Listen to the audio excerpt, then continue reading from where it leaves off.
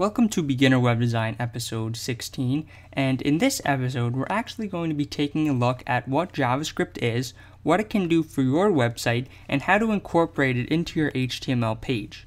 So, the first thing we're going to do is look at what it can do for you.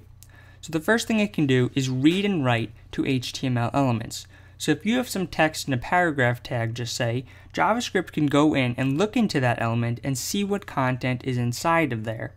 Furthermore, it can edit this content based on your visitor to provide a more unique experience for your users. The second thing it can do is react to a user's events. In CSS, we saw how the styling of an element can change if it's being hovered over or clicked on or if it's focused on the page. JavaScript can do more dynamic things to that, and it can control the entire web page when only one thing is clicked on or hovered over, or if a key is pressed inside of an element, all these different events that JavaScript can take a hold of. The third thing it can do is detect compatibility with your user's browsers. JavaScript can take a look at what operating system and what browser a user is using. So if a user is running Internet Explorer 6 on a Windows machine, JavaScript may have to say, well, your browser really might not work with our website currently, so we're going to provide you with a different styling of our website that is more unique to your browser and will provide you with a better experience. The last thing JavaScript can do is store cookies to a visitor's browser. If you're not familiar with cookies, they're just a temporary piece of information that are placed on your browser, basically wherever you go.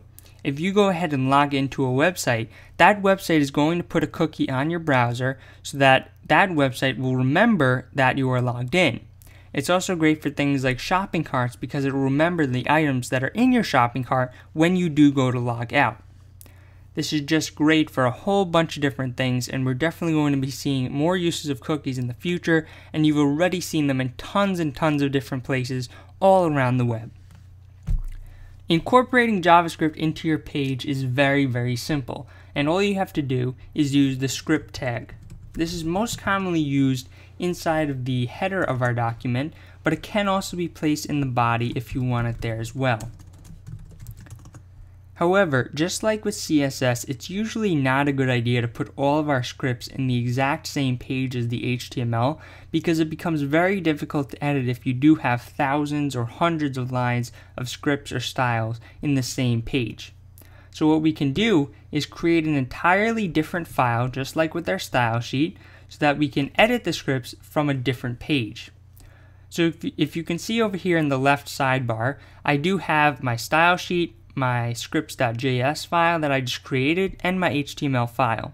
So to link up this scripts.js file to my HTML file, all I have to do is go into my head and type script, type, text slash JavaScript,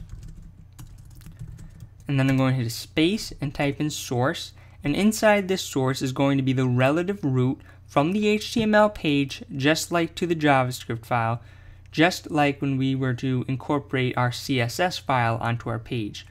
So all I have to do here is type scripts.js because it's in the same exact directory, and then end the tag. Unlike the link tag, this is not a self-closing attribute, so we do have to type the slash script uh, ending tag right over there. Now inside of our scripts.js file, we can put any text that we wanted to to be incorporated into our page. And in the next episode, we'll take a look at actually what we can do with JavaScript and really dive into how to use it.